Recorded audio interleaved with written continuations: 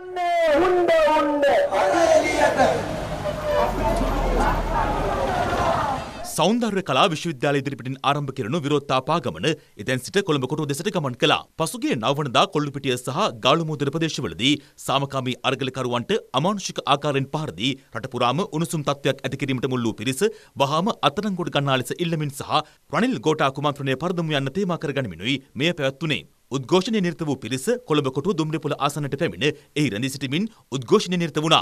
මේ අතර කොළඹ කොටුව පොලිස් බල ප්‍රදේශයේ බැංකු මාවත, ජනාධිපති මාවත, බාරොන් ජයතිලක මාවත සහ මැකලම් මාවත ඇතුළු මන් මාවත් කිහිපයකට අන්තර් විශ්වවිද්‍යාල ශිෂ්‍ය බල මණ්ඩලයේ කැඳවුම්කරුට සහ සමාජිකයන්ට ඇතුළු වීම තහනම් කරමින් නියෝගයක් නිකුත් කිරීමට කොටුව මහේස්ත්‍රාත්වරයා පියවර ගත්තා. එම නියෝගය උද්ඝෝෂකයන් අතට පත් කරන ලෙසත් ඔවුන්ට පෙනෙන ආකාරයෙන් ප්‍රදර්ශනය කරන ලෙසත් කොටුව පොලිසිය වෙත නියෝග කෙරුණා. කෙසේ වෙතත් එම නියෝගය ලිඛිතව උද්ඝෝෂකයන් වෙත බාර දීමට පොලිසිය කටයුතු කළ අවස්ථාවේ ඇතිවුණේ උණුසුම් තත්වයක්. මෙහිදී පොලිස් නිලධාරීන්ට පහර දීමට උද්ඝෝෂකයන් උත්සාහ කරන ආකාරයද දැකගත හැකි වුණා.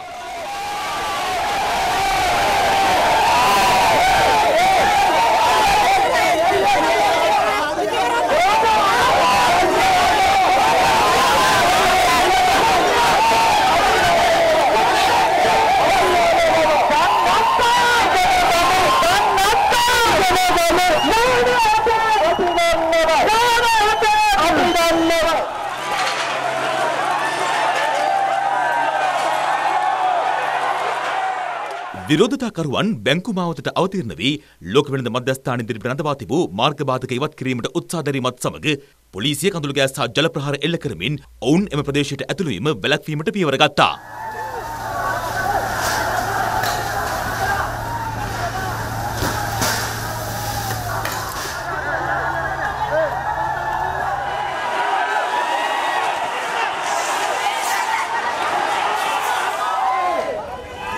はい。